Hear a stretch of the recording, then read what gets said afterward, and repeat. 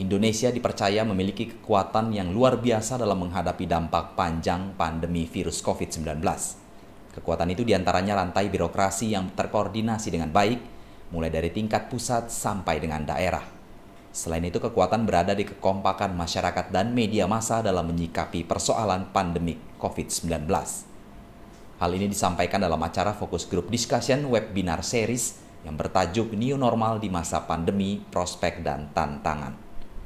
Kepala Badan Pemeliharaan Keamanan Kabahar Kampolri Komjen Pol Agus Andrianto mengatakan, pelaksanaan new normal life atau tatanan kehidupan baru akan lebih menekankan kepada pemulihan kehidupan ekonomi dengan tetap mengacu kepada protokol kesehatan dalam upaya pencegahan wabah virus COVID-19.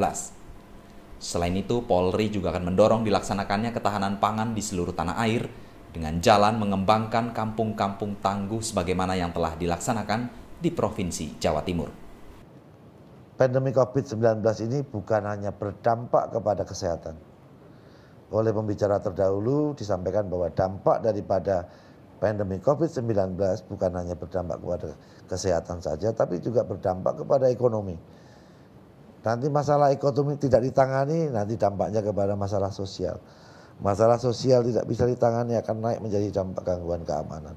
Gangguan keamanan bisa lari kepada gangguan politik dan ini akan menjadikan stabilitas negara kita akan terganggu. Oleh karena itu karena dampaknya ini akan merembet ke mana-mana eh, dengan berbagai pertimbangan tadi sudah disampaikan pembicara terdahulu sebelum penerapan daripada eh, kehidupan normal yang baru norma kehidupan yang baru dalam kehidupan kita bermasyarakat berbangsa dan negara sehingga akan dipilih satu exit strategi oleh pemerintah eh, negara-negara yang Dari Jakarta, tim liputan Tribrata TV, salam Tribrata. Tidak karena permainan kita belum selesai.